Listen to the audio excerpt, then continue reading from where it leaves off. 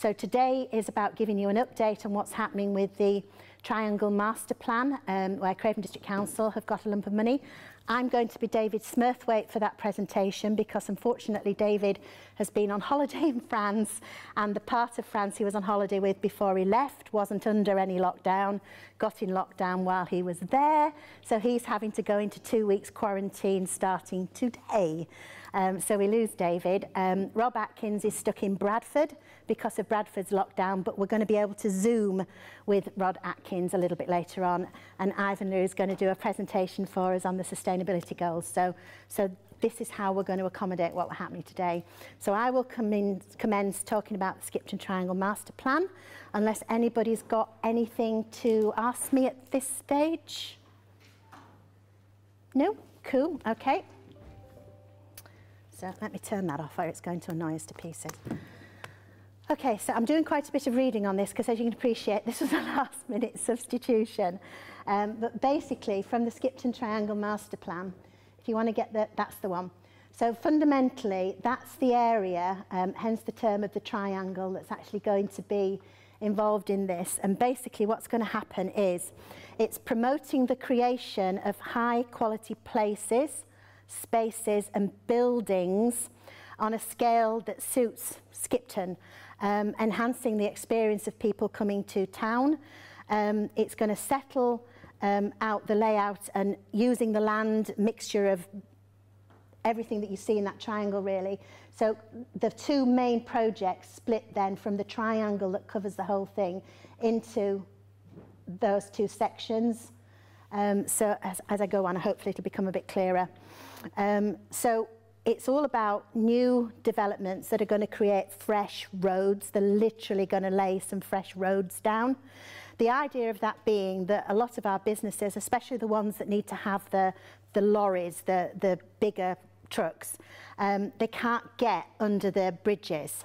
So for years, they've been having to go down Harrogate Road, down the High Street, and technically there's a 7.5 tonnage restriction on the High Street, but for years we've been breaking that protocol through necessity because these trucks won't go under. So this is going to create a better flow in and out of the town. Um, we will have more cohesive information on where exactly that's going to be.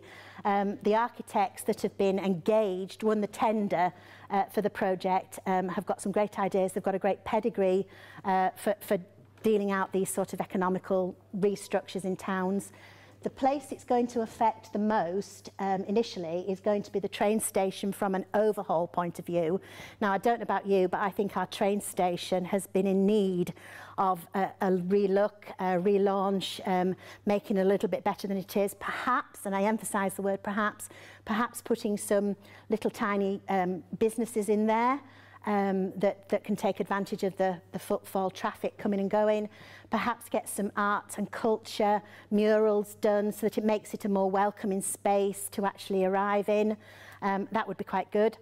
Um, there's been talk about perhaps we could even consider relocating the bus station to the train station because there is enough land to be able to do that. Um, I know that at one of the meetings I attended where David very eloquently explained all this, somebody had said, well, it's really convenient to catch a bus there. That doesn't stop bus routes still meandering round where you need them to meander. And that brings in a really important point from my point of view. I think the idea of the buses meandering a little bit more might be good because then people on the buses will see everything off the high street um, because I have got a lot of my great independent shops for Skipton that are in those little nooks and crannies that are in themselves very attractive for people to come and visit and shop at. Um, so there's some great possibilities if we all engage and have a good conversation on, on how this may evolve. Um, so it'll ultimately end up enhancing the value of the assets um, and settling um, setting a conservation area for Skipton as well. So there's some really good things when it comes to the environment side of it with everything that can be achieved here. Um, and from an economic and social perspective, um, it can also enhance Skipton. So if we do end up, and I emphasise the word if, if we do end up with um, some extra little business units in the train station area, for example, I think it would be nice if more things are happening a little bit outside of the, the centre. Um, you know, just to encourage people, because we do have some great businesses in different little nooks and crannies. Um, so, as I've said, the main focus on Skipton railway station, um, employment that it's going to bring, hopefully, uh, that's another sort of situation. I don't know much about how the employment side of things will roll out. Um, if anybody has any questions on that, if you want to email me with them, and I'll pass them on to David as the expert, and we'll get an answer back from that, because I really don't know how the um, employment side of it will be benefited, impacted. Um, I think it's more to do with the benefit than an impact. Um, so just coming to the SK140 site, um, that extends 5.6 hectares um, in, in central on the Skipton railway station. The south area incorporates Sandyland Business Centre, Carleton New Road, while the north boundary is by the Leeds-Liverpool Canal, so all of that will be affected by this. The eastern extremity includes the fire station and it also includes the former LMS Social Club. That land is still there waiting to be fully utilised, so it will encapture that and sort something exciting out on that. So that's sort of the SK 140 bit. The other part, the smaller bit, the SK 139, consists of two main areas of land, east and west of Cavendish Street, which together extend 1.95 hectares.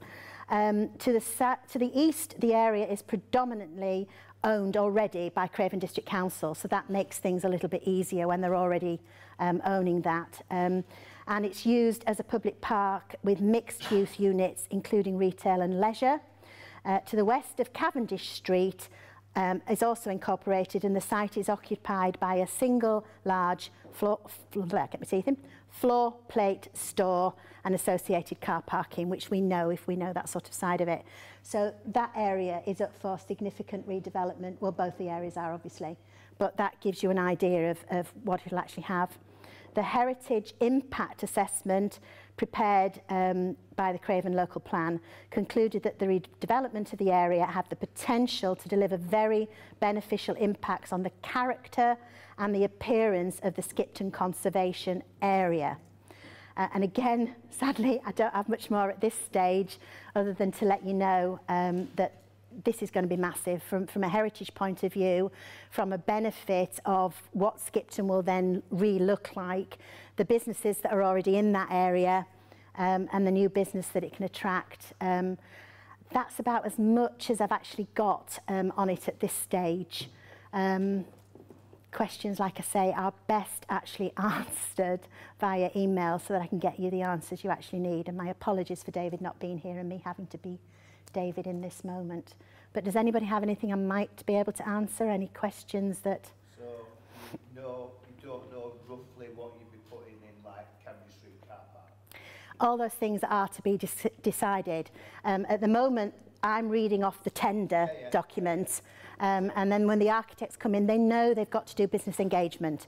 They know they've got to go around. They know they've got to chat, especially by the businesses who are already in that area and will be affected, but also the businesses that will benefit by it. Uh, Rachel Fryers, for example, has, from Merritt and Fryers, has joined the bid board. Um, and part of her excitement of joining the bid board was so that she could have a, a say on things like this and be at the first stages of them because uh, Rachel is one of those businesses with the big trucks that get affected by the railway bridges um, and has had fun and games during the high street closure on market days, but all that's been accommodated thanks to working together. Um, yeah, anything else? When is it due to start? Imminently, uh, basically. Um, it's because the tender's been given, um, I believe COVID-19 slowed it down a bit, didn't it? I think it might have been kicking off by now if we hadn't have had the delay of COVID-19. But the point is the tender's gone out, the architects have been chosen. We're now trying to educate everybody to be aware of things like Skipton Master Plan, Skipton Triangle. Um, if you hear Liz talking about the Golden Triangle, this is what we mean, because you keep saying that, don't you? Um, so anything like that, you just need to be aware and, and chipping in. Even if your business isn't necessarily in that area, um, you know, pop along to meetings that are going to be displayed. If you've got an interest, you might just be saying the one significant thing that will, will make a difference somewhere. And this is really what I'm all about. I mean, BID itself stands for Business Improvement District. This new term of the BID that we're in, I really want us to be able to make a difference that the businesses really, really feel that the BID have had a positive impact on where they are with everything um, and embracing that business improvement district, just those three words. And this has the capacity to, to be able to do that. So, yes.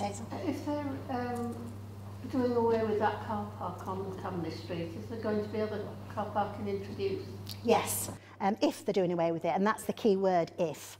Um, at this moment, um, basically, nothing's taboo. Um, everything's available for discussion.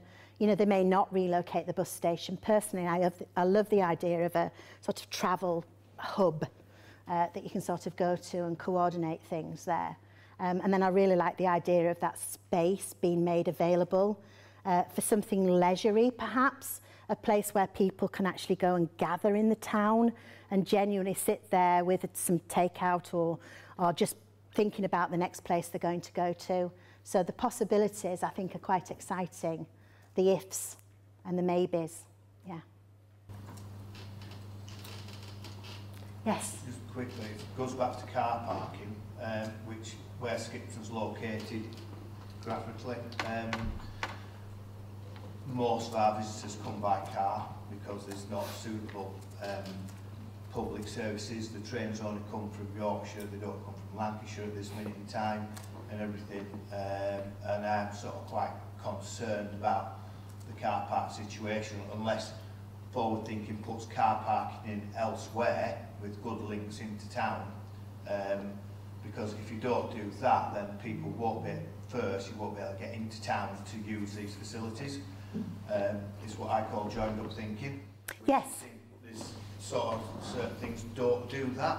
Um, and so we'll end up spending all this money um, and actually then Bo won't be able to get into town. And we'll use Camden Street car park now. I would say 80% of it is Monday to Friday is used by the workers of Bellevue Mill and surrounding things. And I think that's their comment. There's only about six cars in there on a Saturday morning at half past nine, but then there's 80% full at least on a Monday to Friday at half past nine. Yeah. And so if you do away with that, you are going to displace all them round the streets of It's not necessarily doing away with it, it's right. thinking through what the alternatives, and this is another reason why I want this business engagement. Um, yeah. And the other side is, you know, we can go down. We might not want um, three-storey car parks put in Skipton from a heritage point of view of how ugly that might look, but there's no reason why you can't go down so that the third storey is the underground story and then you're only two stories high, but you've still managed a three-storey car park. It's possible. Do that, then you concentrate all the parking in one place and really it'd be better just putting a deck on each car park. So Coach Street car park would accept a deck um, and you wouldn't see it because it's in a bit of a bowl. This is where the architect comes in. in. This is, this is the questions for the architect because I'm saying the possibilities of going down for the first floor those are just meetings I've been at yeah. where they've said there's possibilities. Um, I just think the, the car parking issue needs to be sorted before one It's definitely a heavy consideration, but there's also park and ride, of course. If, if we set a proper park and ride system no, up, um, then, you know, maybe we can have more space in Skipton. Yeah. Start building on anything else and things. Yeah. I mean, the roads are going to be key to being built first so that they're actually bringing the, correcting the traffic situation and the construction traffic can then come on the proper roads. So I get that they will be the first thing, but all these things need considering because we don't want them to put a road through a field that would have been best for the park and ride scenario.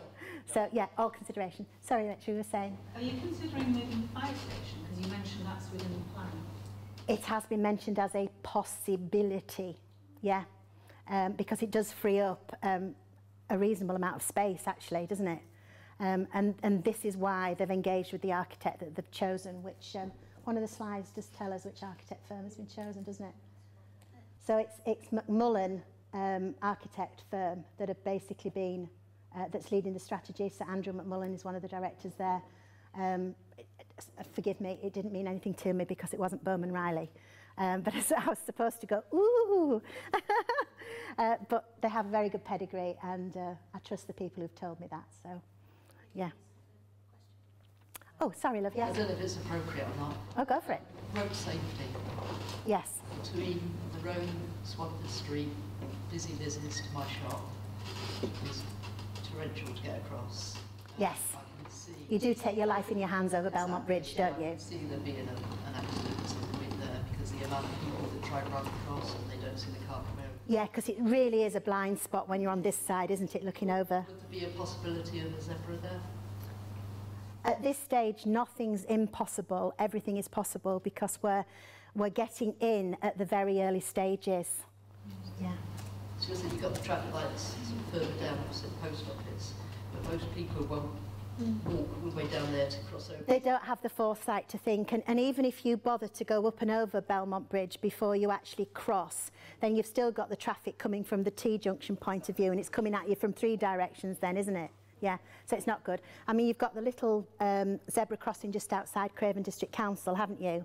So again, but But if people... that's quite a distance. Yes, we do tend to be a little bit lazy and we cross where we think it's convenient and we don't necessarily cross where it's safe to cross, do we? People I've seen nearly hit or sort of Yeah. have to jump back with young children and animals. And Absolutely. Yeah, it happens. All it's countdown before there is and it's a miracle there hasn't been. I agree, Louise, absolutely.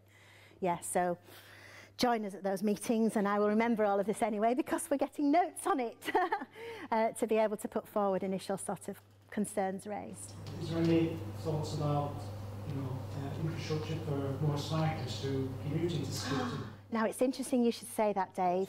Another thing, there is no, there is no shower facilities for cyclists. Yes, yes. And two things have been raised with me about cyclists. Um, and this is where some of, again, I won't steal Kath's thunder, but where some of the um, easier infrastructure to fix is actually coming in. Um, somebody pointed out that there isn't places for cyclists to park. Um, and I was a little bit like stunned that we market ourselves as a place that does all these fantastic cycle routes around the Dales, um, yet we don't have places where you If you go on yeah. the continent and you say go to Bruges, Mm-hmm. right, they have cycle parks that are covered. Wow. Undercover. One step No further. cycles, no cycling in Skipton that's undercovered. So like, it's just a little port to put your bike on. It needs to be better than that. If you can find it, because they're not easy to find either. Uh, and from a sustainable point of view, which is Ivan's speech, those are exactly the types of things. So what we've got today for you is a bit of ducktailing. Yeah. future, that's future travel. Scooters, that's future travel. And the Leeds Enterprise Partnership, which is based in Leeds, obviously Leeds, Learning Enterprise Partnership based in Leeds, sorry. Uh, they also cover Craven area um, and they are offering funding at the moment for sustainable alterations. Uh, British Cycling is offering some funding for cycle things. These are things that we're actually looking at at the moment, things that we've had pointed out to us um, while we've been I wouldn't say quiet during COVID-19 because it's been a bit manic with sort of helping react to people applying for things, but um, they've certainly been pointed out, some of the things, I mean, the guy who pointed out the cycling to us, we were like, no, of course you can park cycles in Skipton, we're a cycle town for goodness sake, and no, that's just not true. Um, so these are things that we're looking at remedying. Um, not saying the priority things, but they're getting up the list. Um, because I'm looking at the signage, for example, and it's there on re- you know, restructure. It's under, if you look at our business plan, attractiveness and cleanliness, it's there about the infrastructure of the town, the little things that the bid can perhaps assist with. Um, Kath very kindly showed us some great um, cycle stands that are quirky that you can actually put in a car parking space, but 10 cycles can park in that car parking space. And so one of the things I'm looking at the moment is can we have one of those where you can pick them up and put them down? So when we've got market stalls, the market stalls are there. But when we haven't got market stalls, maybe we can get a couple of those out on the high street. So 20 cars can park, uh, cycles can park. So these are things that we've been considering. Yes, yes. Anybody else before we have a coffee break, which I'm sure you're all anxious for? No? Well, you can come and chat to me during the coffee break so long as we keep a metre apart. To set the scene, I was responsible for the Sustainable Development Goals, the introduction into Skipton and the setting of. So if I don't have the answers, um, I'll find them out for you.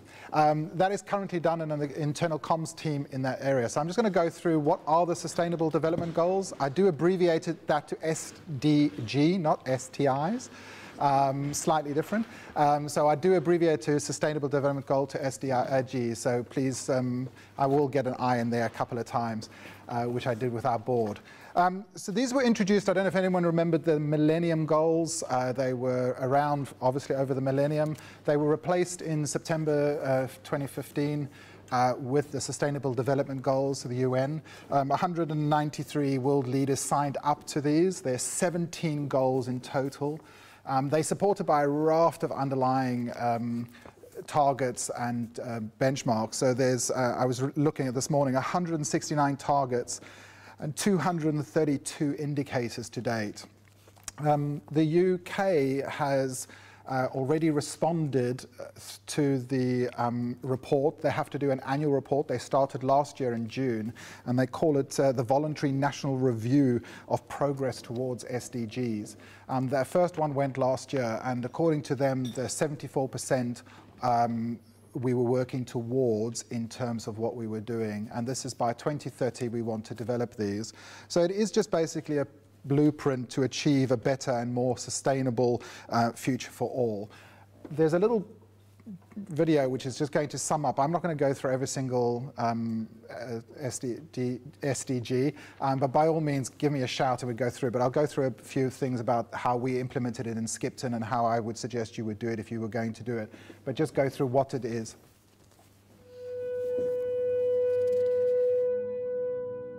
We can be. We must be the first generation to end extreme poverty, the generation most determined to fight injustice and inequalities, the generation that saves the planet from climate change. And this is how it will get done. The global goals, a 15 year plan for everyone, everywhere, with no one left behind. We, we will live in a world where nobody, anywhere, lives in extreme poverty. Where no one goes hungry. Where no one wakes in the morning asking if there will be food today.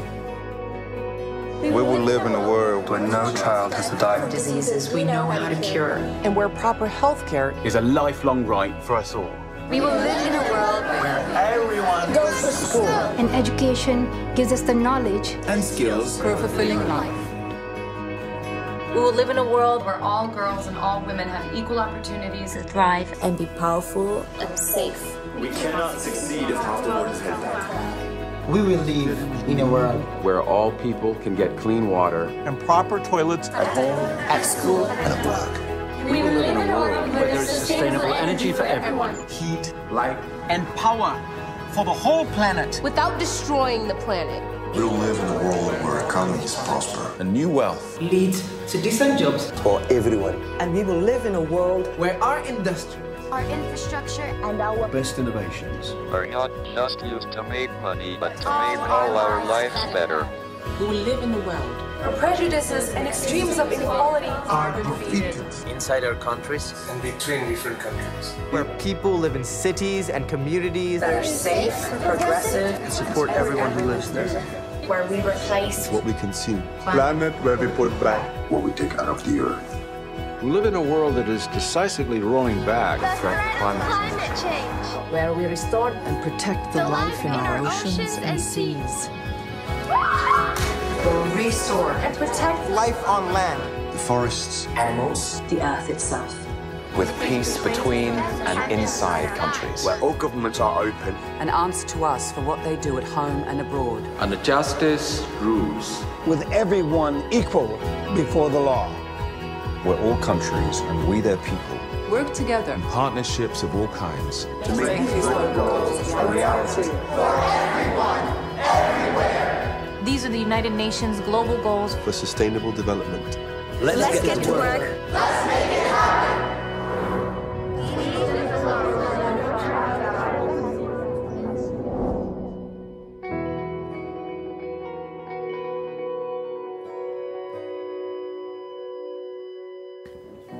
I love that video. And when I first uh, found Sustainable Development Goals, it was the one video I looked at, but it was also the one that confused me because it's quite big. It's how do you get your arms around sustainable development goals? And we spent a little time sort of looking at that, how that would work within Skipton, because we were looking at some of our stuff around our environmental footprint, what it is. And to me, sustainable, sustainable development in my world was environmental footprint. So we started, we started looking at that environmental footprint and um, we, we also looked and engaged with our customers, and you guys engage with your customers on a daily basis. Customers now expect us to have an environmental strategy. A lot of customers are starting to look at sustainable development goals, they're out there, they're being marketed, they are asking these questions. According to the stats, and these are done by PwC, chartered accountancy firm, um, they were done a couple of years ago and they've been updated, they haven't actually changed. Um, and the UK has agreed to these. 90% of people want some sort of strategy in place. Over 70% of customers and colleagues are now choosing their suppliers and the places that they want to go and work at, looking at the sustainable development footprint that those companies are involved in. And you'll see a lot of 71% of UK companies are starting to get involved in sustainable development goals. I think that's quite in a high level bit in terms of some of the bigger companies. So Nestle, Skipton Building Society, I understand. But I want to get across to you, this is a very, this is what you already do. This is just putting a badge on what you guys do now and do well. And I'll go through how we got there in Skipton, because we didn't go and create this and spend a lot of money. We were doing what we did. So I'll, I'll just go through some of that footprint. We did hire an external company. We used um, a company called TBL Services. Um, there's no problem. Um, so we used a TBL service. They came in. They weren't very expensive. And I made no mistake, I've pinched his slides. His name is, is Colin. And um, he went through this process with us. So what we really sat down was, how do we identify those goals that we as a building society were that bothered us. There's certain ones that we couldn't do nothing. So life below sea, there was nothing that I could do as Skipton Building Society to make that better or commit. I'll get into a little bit more detail. And then there was this whole thing around commitment. Now, these have to be stretching. One of the big, uh, my proudest achievements was convincing my board to accept commitments that we would never achieve. We would never actually achieve some of our commitments. And putting that down and having those in place is really important because we had to try. We can't sit back and wait. So that was one thing, put those commitments in. Then you have to measure those. You've got to put a lot of data behind. We have data scientists in our organization, but you don't need that. But you do need to put a lot of data behind it and you need, you need to communicate that to your, your, your colleagues, to your, your customers. They need to see what commitment you're making in that. So just to go back onto that identity bit, we sort of had a look at, we took a, a workshop and we plotted all of our um, uh, the, the goals against how important it was to our business, which we put along that axis, and how important uh, our ability to contribute to that. And you'll notice, for example, live, and this isn't ours, by the way, I wasn't allowed to use, I don't work for Skipton anymore, so I'm not allowed to actually uh, use what we pull. But, but you'll notice, for example, life below sea is very low. We're in the middle of Yorkshire, it's unlikely that we would have. Maybe Busy Lizzie's might have a little bit more of a, an impact in that life below sea, and they would, that would be a little bit more, but that would be because it's important to their business from a sustainability point of view. But for Skipton Building Society, sustainable fish, not really a big issue for us. Um, so we would, this is how you would sort of plot it, where it is. And then you go, and then we would choose. And this is sort of an example output. Now, I've brought with me the one that we produced in Skipton, um, which is a fantastic little leaflet. It opens up into all sorts of little bits. Um, my apologies, he says, getting it. So it sort of opens up and then the commit. Now, you might commit to one goal, you might commit to 20 goals. Um, you can't because there's only 17, but you might commit to a lot more than what we did. So we decided four was the right number for us, and we'd already been doing these. So we had a massive customer proposition expected for a building society that's a financial institution. So we rebadged that into one of our sustainable goals, which was sustainable cities. So we put it into that whole bit. We had this whole thing about community. We give our colleagues two days a year to go and do volunteering. We are a very big charitable organization in terms of, um, you know, we were talking about car parking earlier. The society does rent its car parking out on Saturdays and Sundays. Um, that all that money in, that it, it, produces, which is about twenty thousand pounds a year, goes into charity. All that that is part. So we put that all under sort of a decent place to work. And then we had this whole thing around um, uh, strong institutions, which we thought was because we were a mutual, we were in there. But I will be honest, we, we battled around that thing about poverty. Um, and that came up in the top of our, um, in the top right-hand corner of, of, our graph that we did. But as a financial institution, I always felt it was a little odd that a financial institution wanted to, a capitalist financial institution, wanted to sort of look at poverty. But we did, we took it to the board, and we, we ended up not putting that one in. So, but we are doing things for poverty. So I don't want you to think that we haven't. So, for example, the society has said it'll put 3,000 people in 20, by 2022 into homes that are currently homeless. So that is the poverty angle, and it's doing that as part of its charitable contribution. And you will find that you will be doing little things. I can see the Rendezvous, for example, might want to bring, they might not look at sustainable life under the sea as a, as a goal that they want to focus on, but they might bring in some sustainable fish into their restaurants, and then they can plug that. So you will still chip away. And when you look at our CSR report, or now we've rebadged sustainable report, we talk about those things that we're doing. So our restaurants that we were doing is all fair trade. We've been challenged at our AGMs for years around fair trade, and I'm assuming your customers will as well. So we get challenged all the time. So we're putting those in place, but we, we chose. But the one that I'm more passionate about, and the one I was accountable for, um, is this um, consumption and production. So my whole bit was around the environment. I wanted, we came up with a strapline that we would put, take out less than what we, so we would put more into the environment that we take out. So we were going to halve our carbon reduction commitment. We've put in, we were the first people in Skipton to put in electric car chargers. We were the first to put electric cars on our fleet in a financial institution point of view. Um, we gave our colleagues um, loans in terms of financial institution bits around that. We did solar, we did water. Um, we also um, started from a commuting point of view, calculating our carbon footprint. So our colleagues travel far and wide. Someone's already said that most people actually drive into Skipton. Our colleagues are no different, and anyone that lives in Skipton, I was responsible for parking. Um, but you would know that that is a massive problem. So we were trying to incentivize that, and we were incentivized putting some stuff to reduce that, and we put that into our carbon calculation. And I think that's really important. It needs to be stretching, and by the way, that was one we never thought we'd ever meet, um, but we would try. So what we did at the end of that that is we, because we had the, the, the, cash flow, is whatever we could not reduce carbon on, we planted trees. So we did a link up with the uh, Northern Forest and we were planting to the tune of 60,000 trees a year.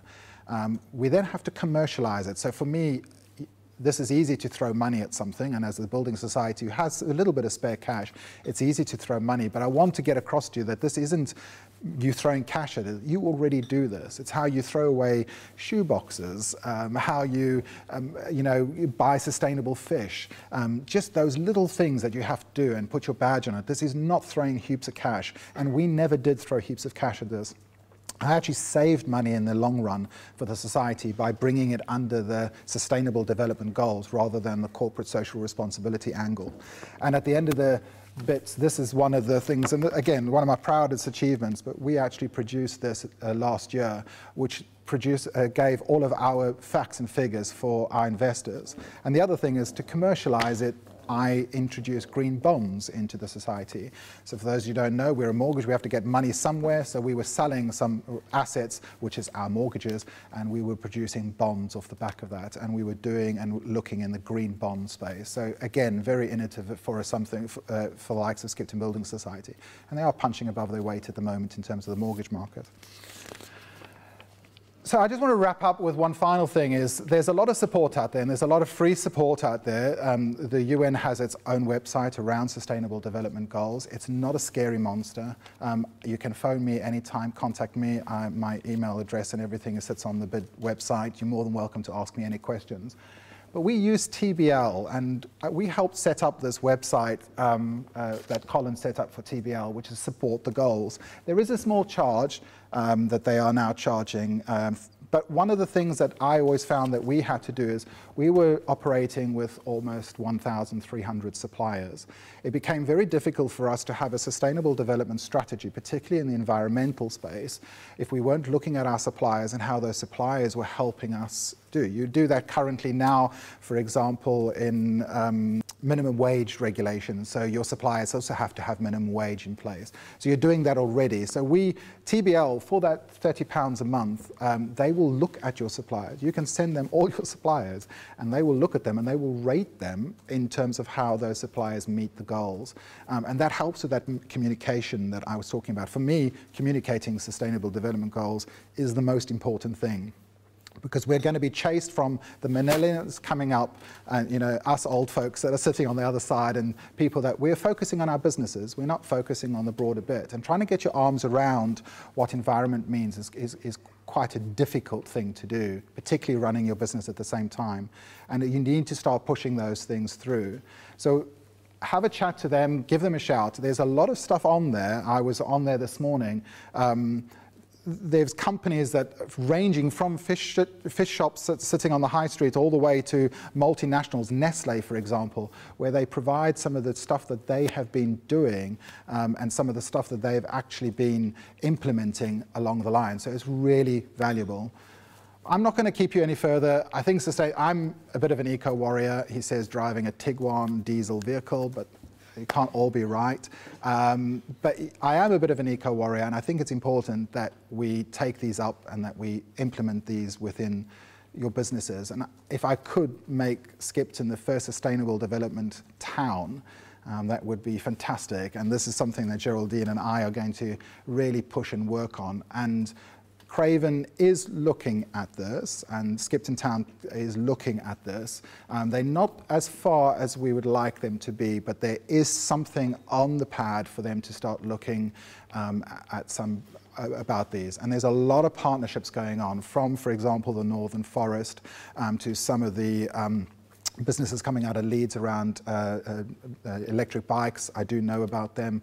They provide funding for that. I have one. Um, that, and so we need to start thinking about these and we will start putting these onto the website. It'll become a resource that we put there that you can help. But if there's anything you want to know, I'll help you as far as I can. Colin is phenomenal. He does this as his bread and butter. Um, I'm, I'm in West Yorkshire, so I'm not supposed to be uh, uh, spending time inside uh, a room with other people. Um, so uh, thanks, thanks for agreeing to hear me via Zoom. I hope it's been interesting so far. my, my name's Rob Atkins. I've worked for Craven Council for about two years. I originally came to Craven to to work on a load of back office stuff like uh, improving performance management and procurement and that sort of thing.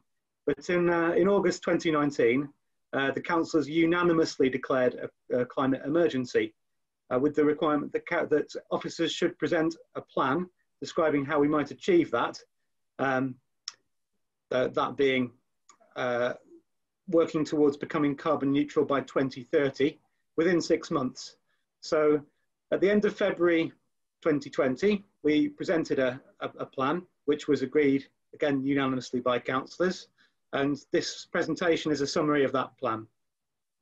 So I'm, I'm going to go through very briefly everything that's in the plan. And uh, at the, the, end, you'll have the opportunity to ask some questions if you'd like to. So this is uh, some research from Leeds University showing uh, where we'll be if we don't make any changes to the way that we're doing things. So at the moment, we're somewhere around 400 uh, kilotons of uh, carbon dioxide a year across the district. Uh, and uh, if we keep going the way that we're going at the moment, there'll be some improvement, but only by about 20%, which is, is nowhere near the, the commitment nationally that we need to be making to the Paris Agreement. Um, and internationally, if, if, we, if we're on that sort of trajectory, all sorts of terrible things will happen. So um, that's, that's not ideally where we'll be. This is uh, also from Leeds University, a piece of work they did for us, um, looking at what we would need to achieve uh, if we are going to meet the Paris Agreement targets and the government's commitment to uh, become carbon neutral by 2050. So that's where we're heading. That's where we need to be heading. Now, um, our councils have committed to work towards becoming carbon neutral across the district, district by 2030. Um, obviously, that they don't have direct um, influence over everything that happens in the district. So it's, it's not entirely possible for them to commit to uh, doing all of that. Most of that will be in partnership. But there, there are two real uh, different pieces of work with different character, I think, to achieving this. One of which is the council's own emissions. So the emissions that we're creating as part of our operations through things like waste collection and running the swimming pool and that, that sort of thing. Um, where we, we do have a plan for becoming carbon neutral by 2030 for that. Um, and, and, then the remainder of it, the other 98.5% uh, of the carbon emissions across the district, uh, we will need to work together to achieve. This is uh, the trajectory that we're heading for with Craven District's own emissions. Um, so we, we, this, this is what our plan looks like at the moment. And these are the things that we uh, are looking to, I haven't separated them into council things and district-wide things in, in, in, this presentation, but uh, I think you, will see that there are both in here. And the, the, first thing is that we're going to be moving the council to renewable energy contracts. Um, the first one that we can move to is uh, our gas contract is up next year, and we're looking at whether we can uh, move some supply for some of the buildings onto a, a, a renewable gas contract. So, so uh, um, paying suppliers of biogas for the uh, gas supply rather than uh, buying it directly from the grid. Our electricity contract's up in 2023. Um, so we, are looking at reducing the council's energy use across buildings. We are we're going to be investing in a buildings energy management system, providing our bid for the European Structural uh, Fund money is successful. I'll talk about that a little bit later. Uh, we've been replacing the council's lighting with LED lighting for some time. We're more than halfway through our rolling replacement program for that. That's both uh, street lighting and internal lighting. And we only buy um, high efficiency energy appliances uh, when we replace anything that we're using across the council. Uh, we're reviewing insulation across our buildings at the moment, um, including making sure that the new builds that we're uh, putting in, in particular things like Engine Shed Lane, have high um, uh, quality insulation where they possibly can. And one big thing that we're doing is that we have uh, approved a policy committee earlier this month. Um, we're going to go ahead with a, a, matched funded bid to the European Structural Investment Fund uh, for installing renewable energy generation across the council's estate. Uh, that, that's things like solar panels and uh, uh, heat pumps. And once we've installed that, it will provide almost a third of the council's energy requirement. Uh, it, it, includes uh, uh, district heating for the Great Horse Close Estate as well in, in partnership with Yorkshire Housing.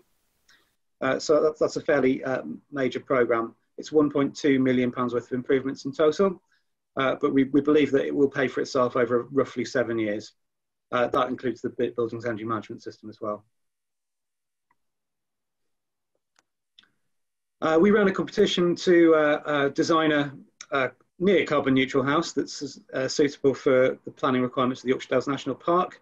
Uh, so we have a suitable design for that. We're currently looking for a suitable place to build it. Uh, the, the, place that we originally intended to build it, I think, will probably work out too expensive. So um, we, that, that's where we are with that one at the moment. Uh, we, we're looking at enforcing the highest possible um, standards of planning for energy use in new buildings, we're obviously slightly limited what, with what we can do with that because the, we're uh, obliged to comply with national standards for planning, uh, which uh, are, somewhat uh, lower than the carbon neutral that we'd like to aim for for our own buildings at the moment. Uh, there are lots of changes in planning legislation coming up. Uh, difficult to know at the moment how that will impact on what we can or can't do there. we're supporting people across Craven to develop renewable energy. We have a master's placement student at the moment who's working with uh, folk in Malhamdale, looking at what the op op options might be for improving renewable energy use there, uh, but also putting together a framework that could be used for assessing renewable energy opportunities in other areas if, if uh, folk would like to look at that.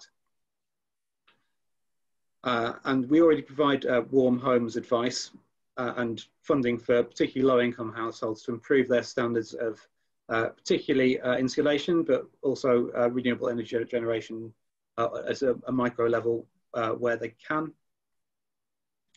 And we, we support the Close the Door campaign, which I'm sure some folk will be aware of already. I know Councillor Myers is very keen on that, um, to make sure that we're particularly using energy efficiently in, in retail settings. There's a whole load of work across development. Um, we we developed some sites in partnership with Barnfield um, Construction.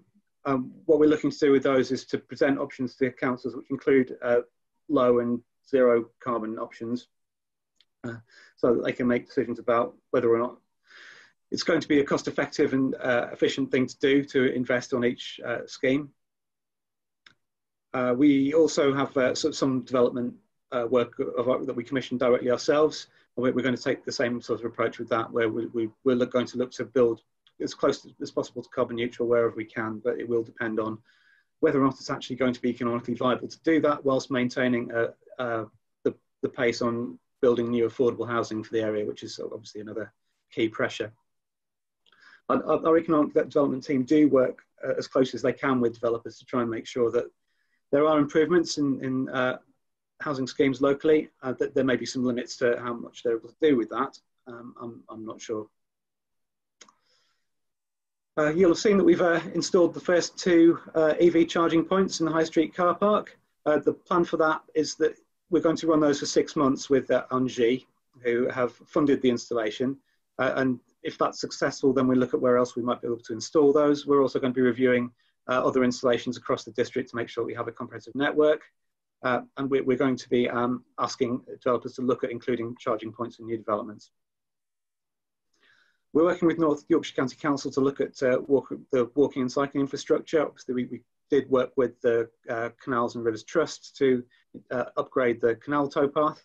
Uh, so that's a, a, a, much improved and accessible route for uh, walking and cycling between Gargrave and Kildwick. And we're going to support our uh, colleagues in the council to move to uh, low emissions vehicles. And uh, you, you, may have heard already, I'm not sure who's been uh, speaking already, uh, about some of our plans for uh, working towards a, a, a better um, access route into, into Skipton for folk who aren't using cars by improving the station area and the, and the bus station. Uh, we, we are working with uh, the county council to make sure that we're improving or aiming to improve public transport across the region. Now, the, the uh, COVID-19 outbreak has given us an, uh, an opportunity already to uh, improve the way in which we incentivize staff to travel, to use active travel. So we, have already changed our staff car parking structure so that staff get a discount if they are travelling into the office by car on fewer days. Uh, we, have said that we'll promote car sharing and car clubs. That one's slightly on hold at the moment. Uh, and we've also said that we'll incentivise low emissions taxis. This is probably through some sort of uh, uh incentive for uh, the, the, first uh, taxi owners who want to take up a, a, a, low emissions license to have some sort of discount um, for the first certain number of licenses or, or, something like that. So that we're we're, we're encouraging the, the early starters to um, take up that route. We've already started replacing our fleet where we can with electric vehicles. This is a Nissan e-NV200 and we've uh, replaced our maintenance uh, team van with one of these. Uh, we'll be looking to replace more vehicles with electric vehicles as they're taken out of service, um, but not the big refuse collection ones, which I'll come on to in a little bit.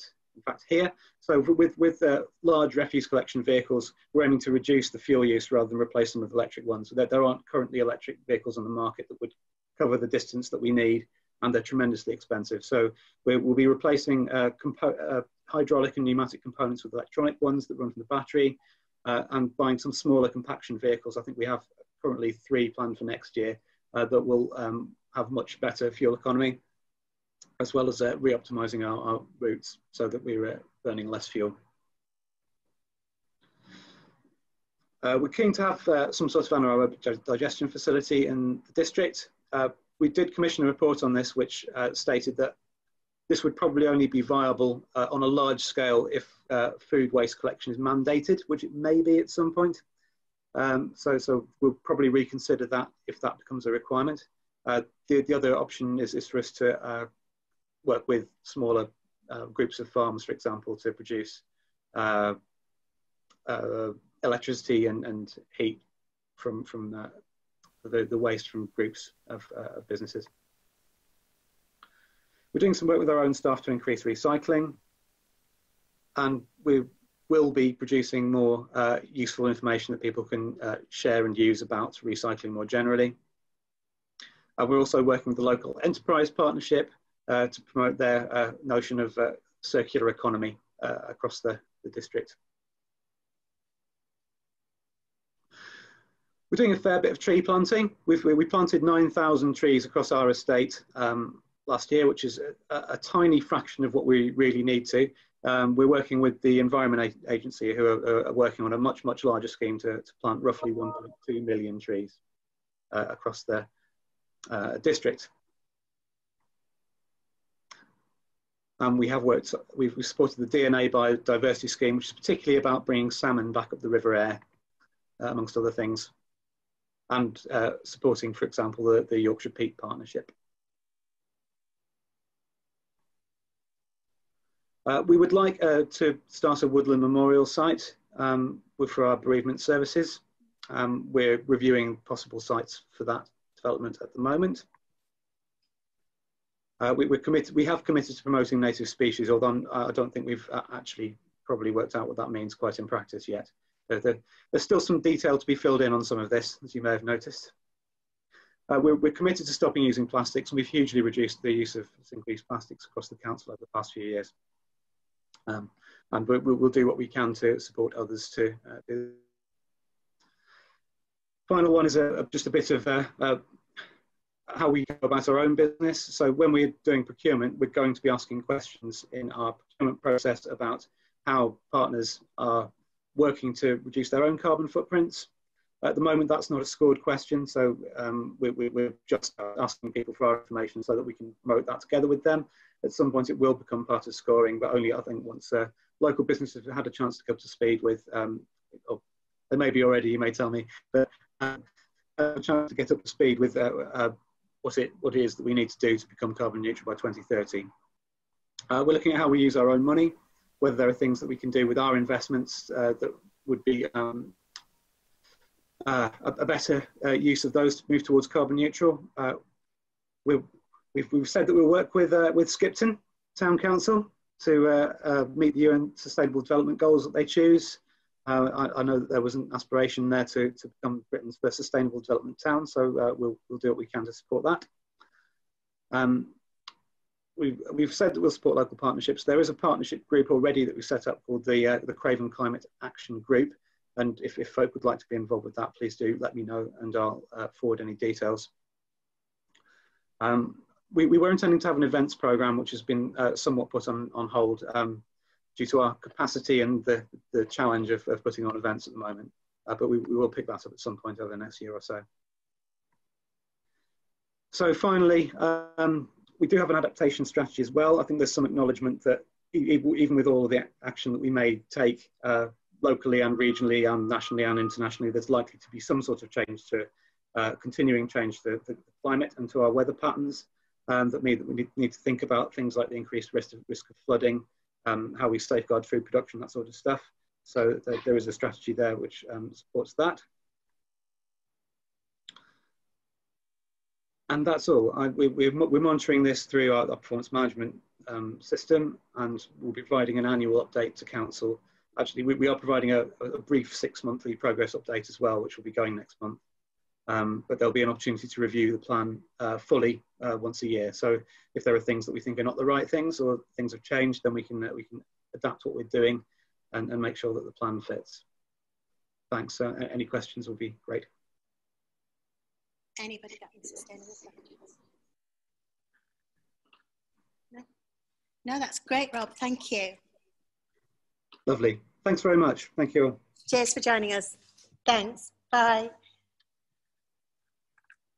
Um, why we've done the sustainability, just before I sit down, everybody, is um, there's opportunities here. There's some there's some funding opportunities. Um, the local enterprise partnership are offering um, grants uh, for businesses who are considering altering like how your water comes in and out of your premises. Uh, so there are things that you can do which effectively tick the sustainability box, but do also save you money in running costs. So obviously businesses, if you don't actually own your premises, then you need to work in conjunction with your landlords. But if it's actually going to help reduce costs so you can afford to pay your rent, one assumes that's self-fulfilling. Um, and that's just, that's just one of the grants that I've noticed. Um, so there are opportunities here to get your business on the map. The bid is very keen to look at helping the two councils, well the three councils we've got, the district, the town and the, the county, uh, to actually bring Skipton. There isn't a town that's gone sustainable yet, that isn't marketing the businesses that are doing something sustainable. We're always looking for ways of encouraging that other footfall, the, the footfall that has customers visiting us to stay a little bit, to have money in their purse to spend in our premises, whether that's having an enjoyment in a cafe, whether that's purchasing some retail goods, whether it's enjoying a cruise, whatever it is that they've come here for. Um, these, there are a lot of people up and down this country that are caring about the environment, and I just think it's a potential opportunity here for us to get on board with. That's ultimately the message as to why we've sort of educated you that this movement is afoot. Um, and you're probably doing little tiny things already, but you're just not telling people you're doing them. So if you are, then by goodness sake, get in touch with us and we'll see what we can do to help sort of market that. Hello everyone, thank you for having me this afternoon. It wasn't the plan, but here I am with Deborah's hat on and uh, David Smurthwaite's hat on, so I'll do my best to give you an overview of the Heritage Action Zone for Skipton. Um, so Debbie Cross um, is the HAZ Programme Manager and I'm a HAZ Project Delivery Officer and we were both appointed around June time. Um, so we haven't been in post for very long, so um, bear with us, but we're, we're completely on board with what the project aims to do and we're really excited about it. So um, we're looking forward to working with you all um, as we deliver it over the next four years. So um, I'm sorry about the map, it's not very clear, but um, the red line there gives you an indication of what the Heritage Action Zone looks like in Skipton and extends from Otley Street on the right over to the Canal Basin and then obviously from the bottom of the high street up to the top, including um, the castle and, and beyond. Um, and the definition of the Heritage Action Zone, so it comes from Historic England, and it's, as you can see, it's about breathing new life into an old place and making it a Heritage Action Zone. So um, that's what we're aiming to do, and um, the, the goal is to stimulate economic activity within the Heritage Action Zone um, by using the and by recognising and using the heritage value that that's, that town offers. So we know that Skipton's got a lot to offer um, with its heritage and we want to utilise that to really um, stimulate um, economic activity within the town. So there are seven elements to this four-year programme. So this, um, in terms of a starting point, um, this, this uh, presentation continues from the announcement that I think you'll have heard via Skipton Bid newsletter and through the Craven Herald, which was that the, the um, 1.2 million funding from the government, from um, Historic England, was secured last September, I think it was. Um, and then the details started to come through, and I, I think I saw it again in the press in January um, in terms of how that was going to start to look for Skipton. Um, and then now we're getting more into the detail of it. Um, I'm not going to be talking about figures particularly because um, there are lots of elements within it and I'm only dealing with a bit of it. Um, but the overall package is 1.2 million. A lot of that is going into Skipton Town Hall, um, and which is ongoing anyway, so I'm not going to talk a lot about that. Um, and then there are some bits and pieces that I haven't kind of started yet, and there are more grants that become available as well. So Debbie is the program manager. She's always looking to um, build on the funding that we've got already in order to keep the package growing, if you like. So we're always looking for more funding opportunities. But yeah, so they're the seven elements of the four-year program. I'll move on to the next one. And in order to, live, to deliver those four, those seven uh, projects, um, we've got key st stakeholders that we are really keen to work with. Um, so Skipton Bid, obviously, and the Civic Society, uh, the council and so on, and, and more importantly, the business community, um, who we, we are really, really keen to work with. but that's not, um, that's not the exhaustive list. There's, there's lots of people, for, exa for example, Skipton in Bloom, um, even volunteers, you know, the, the list goes on and on. But it's important to deliver, in order to deliver this, that we're completely engaged with the, you know, the wider community. so in order, so by working in partnership, we want to ensure that we effectively engage with the community to do effective consultation. We listen to what you want, what you think about our plans, and um, we listen to your feedback, and we, you know, we take those ideas on board in order to move the program forward. Um, and that those ideas then start to really shape the detail of the plans. And then, more importantly, that those plans fit within the wider vision for uh, Skipton, which we've heard about this afternoon. So the sustainability element of it, the um, Skipton Triangle, and so on.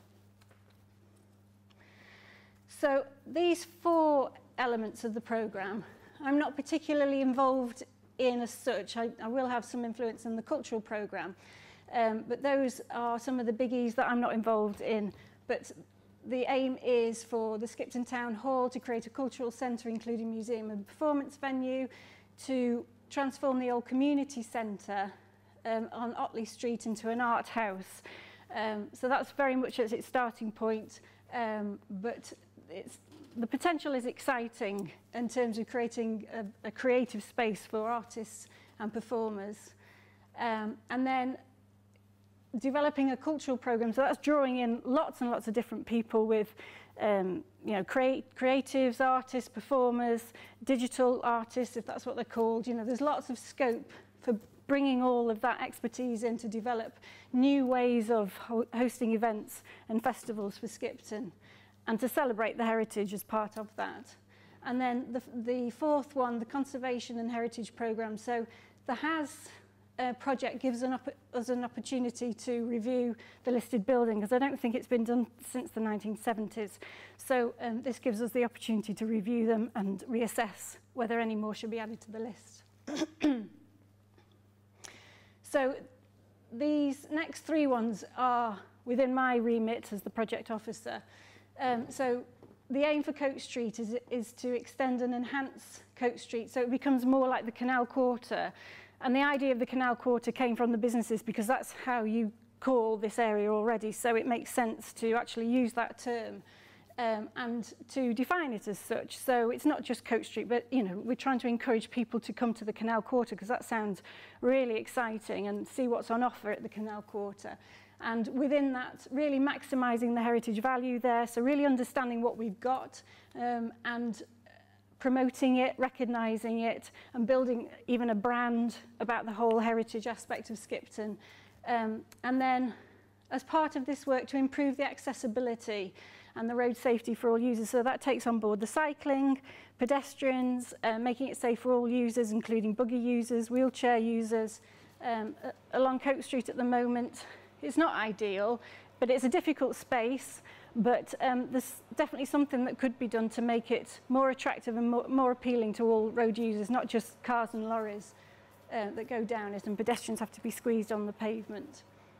Um, so the plan is, yes, to optimise economic opportunities for all the businesses and for new businesses if they're able um, to, to move to that area, increase the footfall and to extend the Coach Street um, design to include the Ginnels. So there's more of a flow from the High Street towards the Canal Quarter.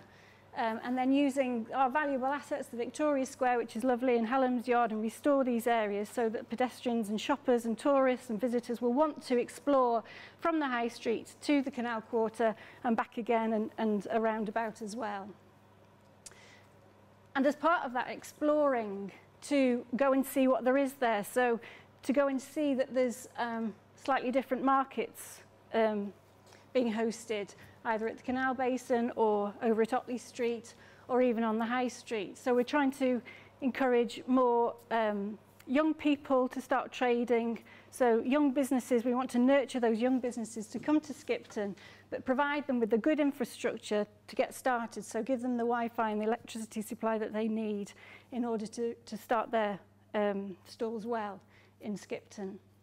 So that's just a quick overview of it. Those are our um, emails, so please take a note of them. And if you have got any questions and if you'd like to be involved, if you're over at the Otley Street end, for example, that's not my remit as such, but Debbie and I will be really, really keen to hear from you um, to bring you on board with, with the HAZ, because as I say, it does cover that area as well. So um, any ideas would be very welcome. So if you have any questions, I would be happy to take them. Sorry. When you're talking about redeveloping the Ginnels and things, Yeah. about using, uh, losing cobbles, to make, uh, losing the cobblestones to make access. Well, no, it's about um, the cobbles are part of our heritage for that, so we want to use them in a, a better way. So it's um, maybe to relay them in a in a better way, or just maybe just to, to relay them so that the the flags are situated so that you can walk along the flags, but the cobbles are still there, because it's quite treacherous for pedestrians around uh, Victoria Court. Yes, yeah. So Exactly. And I mean, I, I, I get that feeling as a pedestrian myself, but when I talk to the businesses, um, they will say, well, I don't think they'll come here because, you know, the, the access is bad, you know, the surfaces are poor. So, we, well, we need to try and fix that as part of this. I was quite surprised that you left Water Street out of your plan because it would create a circular walk round. Right. Most of the people down the Ginnels, which aren't really suitable, but they are very Yeah. attractive and things. But I was quite surprised you actually just gone along Springs Branch Canal and left Water Street out, whereas incorporating Water Street um, would actually give you a more of a circle with roads Yeah. interlinking it. Um, well, I can certainly look at that. Yeah, I can certainly look at that, Terry. It's, we're not uh, being. I mean, that was that's within the HAZ map, isn't it, Water Street? No, you, the, the map on the line was uh, along the canal towpath. Ah, right, okay. Right, not Water Street. Right, okay. This is no benefit to us being on Court Street, but it cuts in and up and it cuts Water Street out. Okay. I'll have a look at that. Yeah. Yeah. So, but, you know, I mean, I have to say- to encourage people to walk round. Yeah. You see, it's cut back to the canal and then, well, back to the back of the high street, the other side of the canal. Right, okay. um, they would walk all the way around. you know, Yeah. Because Water Street doesn't get a lot of footfall at the minute. Right. Never has. Um, and there's things on there and businesses and some nice buildings. Yeah. A lot of register office and things. You know, it's um, it's a shame to cut it out. Yeah. It could be a useful addition. Well, Especially when it takes in the corner as well. It does. Yeah, it does. Yeah. Yeah. That corner. Yeah, they Yeah. just chopped it off. So the, the corn mill's still in there, but it's just, it, I find it odd, it's just stepped out, you know. I'll have a look at that. I Yeah. didn't draw that red line. And I No, don't no, know. I'm not I saying. don't know- I don't know how When that you red talk line about came people about. walking round, Yeah, I see. Yeah. I see what you're saying. Yeah. there's, there's a circular walk round there, the High Street, Millbridge, Water Street, round, Yeah. and then there's still places to, to link across. Yes. Yeah. Um, cut up by the canal, but I'll have a look at that. I was just going to ask one question. In terms of where are you publishing some of this sort of data and information that you've you know told us now? Is there, is there a website that you're putting this on? People can go and have a look at. Not yet. We're not at that stage yet. But are you thinking about? Yes, I think yes we are because as part of the community engagement, it needs to be accessible. So certainly, um, what form that takes, I don't know yet. But certainly, because we're embracing the community, it needs to be accessible. Yeah.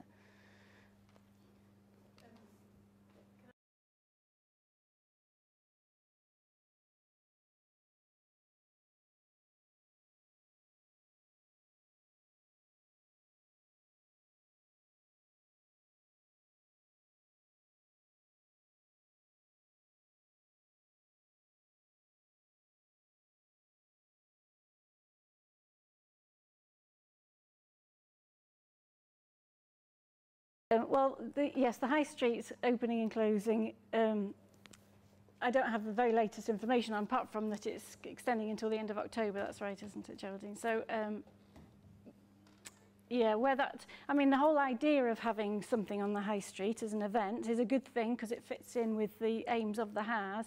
Um, but it's the, the aim, from my point of view, is to, to encourage um, shoppers, tourists, whatever, to, to walk further than the high street and to bring in the secondary areas, really. So there's no reason why we can't have an event at the Canal Basin rather than just on the high street. But it's slightly separate from the opening and closing of the high street as a, a longer term plan.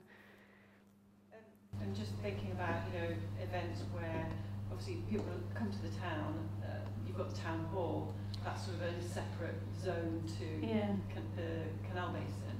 And you've got the market and all the traffic, and it's just, you know, we've got a sort of fracture that's caused by the amount of traffic that goes through for, I don't know, the feeling, the usability of Skipton as a, as a, as a whole space. I'm, I'm an event organiser, Right. and um, that's, that's just one of the things that, that's always there, it's always in the way. Mm. And, and I don't know, just a feel of the space, talking about opening out different areas of the town in terms of the grand plan, green space within, having more sitting space, Mm. having more Mm. where something can actually happen, where groups can gather, rather than we've got these narrow, tiny, tiny pavements, tiny, tiny ginnels. That's all very lovely, but it's sort of the gelling of the whole of it Mm. is broken. I mean, this, if I, if I may, Kath, Yeah. sorry. This is why uh, we put so much on the agenda for today, because you can start to see how it all starts to dovetail. Um, and if it's, if it's pulled together, and the whole concept is that we want to pull it together. So when we're looking at the arts and cultural spaces that are needed, when we're looking at the Triangle Master Plan with the wonderful architects that are coming in to, to review all of that and how the travel and the infrastructure of the town in and out and the flow. Um, I mean, I'm really keen and I've been sowing the seeds and um, I think my seeds are starting to sprout with the concept of uh, putting little bits of stalls on certain days by leaving the high street open perhaps and closing Coach Street on a Sunday and closing Otley Street on a Sunday um, so that you've actually got stalls that can go down there to bring different tastes, different crafters um, and therefore the traffic will flow and we won't get the congestion because the high street will still be open but then we start to encourage people to meander and see the, the gems that we've got that make Skipton because whilst we've got a few little independents dotted on the high street, on the whole, our independents stay off the high street because of the, the cost of being on the high street. Um, and if our visitors found those little nooks and crannies um, where they can purchase unique items, then we're starting to create a whole cultural hub for Skipton anyway. Uh, so it does all dovetail, and if we can get the triangle plan, understanding with the HAZ team that there's, there's this synergy, there's the work from the sustainability point of view. Um, you know, when we purchase something in, I mean, I've been going to plastic-free Skipton meetings for a good probably two years now. Um, and that's all very exciting, but we have to make it work in a practical context. Um, just things like, you know, um, great idea where somebody was going to build for us a big woolly sheet built out of um, sort of metal so you could drop your plastic in. Uh, but when it came down to the practicalities of the refuge collection, we all know that if we've got a big woolly sheep that only wants plastic, in reality, tins will go in there, coffee cups will go in there. So we can only have that if somebody's prepared to go dumpster diving and sort it all out before it comes and gets collected. So it's just working together on all of this and dovetailing it so that these opportunities aren't missed. Um, and that's really why I've thrown so much at you today. So anything you get involved in, if it's just one aspect that you think works for you because it suits your business, if you've got the others in your mind and we're constantly reminding you about them, then hopefully somebody in that meeting will just say the relevant thing that, that will keep it all pulling together.